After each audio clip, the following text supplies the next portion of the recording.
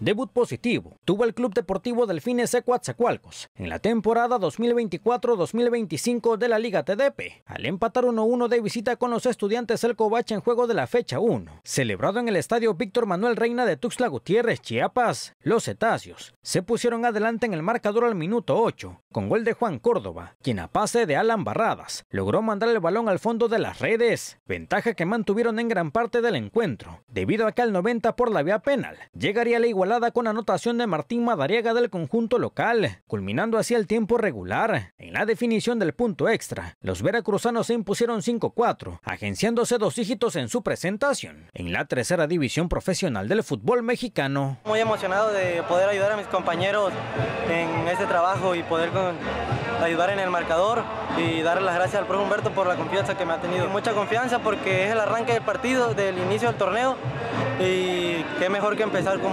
dos puntos. Humberto Andrade, director técnico del Depor, comentó que seguirán entrenando para que el plantel mejore en algunos aspectos. Sobre todo nosotros el orden y la forma organizativa de juego, al margen que físicamente pues vamos en ascenso.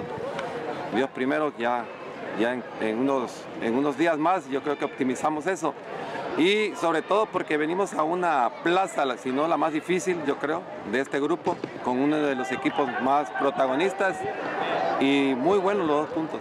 En la jornada 2, los delfines que sumaron sus primeras unidades dentro del grupo 2 recibirán en el Olímpico Rafael Hernández Ochoa los milenarios de Oaxaca. Duelo a disputarse el 21 de septiembre a las 16 horas.